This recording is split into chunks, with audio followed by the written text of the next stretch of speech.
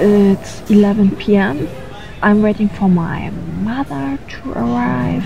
I think she will arrive around 6 a.m. So I decided to sleep at the airport and wait for her.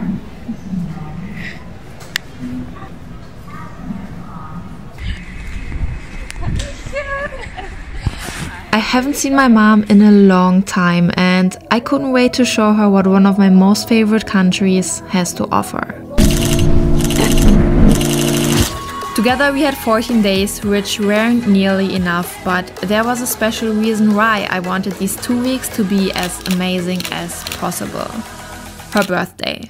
Happy birthday to Happy birthday. Happy birthday! It's her birthday. It's my mom's birthday. Happy birthday. Happy birthday.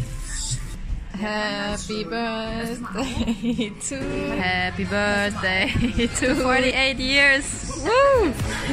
and the best way to see the island is simply by driving around it. Actually, my mom thought that we're gonna explore Taiwan by public transportation, but I called my friend Kelly to organize a car for the perfect road trip.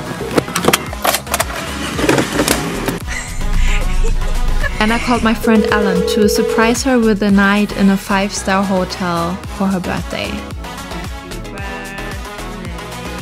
In the end, my mom is a traveler like me, and the biggest gift I could give her were unforgettable memories she would never forget. Neue Abenteuer in Taiwan! We started our trip in Taiwan's capital, which is a very diverse city full of busy shopping areas, markets, and modern buildings. You live one life! Yay! Woohoo! The Rainbow Village in Taichung was just a different world full of art and paintings.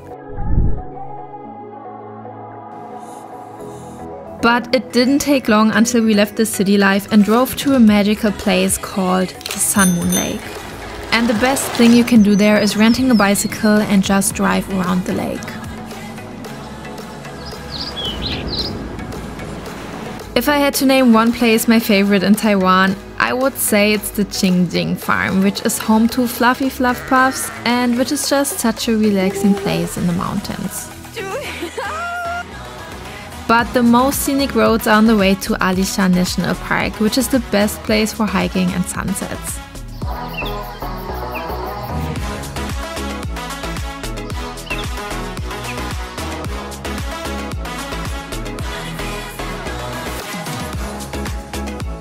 To see more of the history of Buddhism, it's a must stop by in the artistic city of Kaohsiung.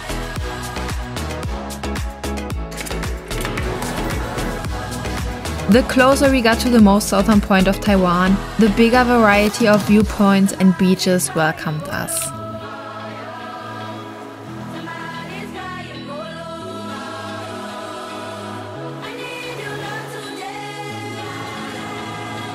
I would describe Taiwan's east coast as the wild and more unexplored side of the country.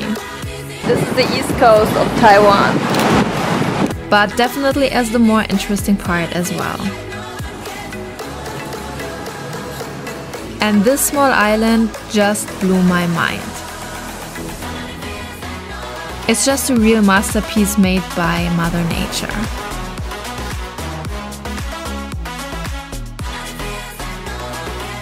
Driving these roads with a car were amazing, and there was always a place to stop and get blown away by Taiwan's stunning views. It was my second time in Taiwan and experiencing it together with my mother made it even more beautiful and special to me. And I will always look back and remember it.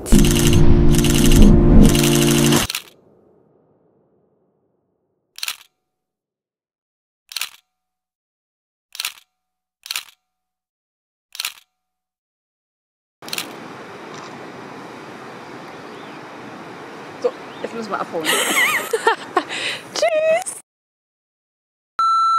online. Well, little did I know that I would move to one of the world's most restrictive countries for the internet, Turkey. I can't believe that Turkey is one of the most restrictive countries when it comes to internet.